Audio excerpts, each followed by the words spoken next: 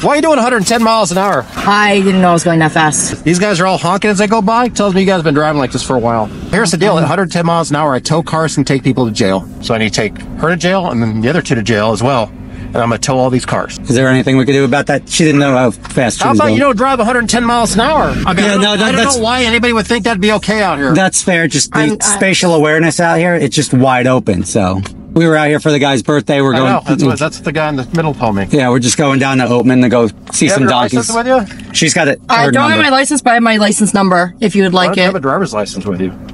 Um, it's in my other bag. Okay. So here's what I'm gonna do: write you a speeding ticket. I'm not even gonna write you for reckless. Okay. I'm supposed to. I'm supposed to write you for reckless. Okay. I understand. I'm gonna Yeah. write you a speeding ticket. I'm gonna make it so that you can take care of it either by phone, by mail, online. You know, I'll give you some options. Okay. Okay. Okay. But you can't drive 110. Okay. Thank you. cars are fast and nice, and got a big group of you guys together. So, Yeah.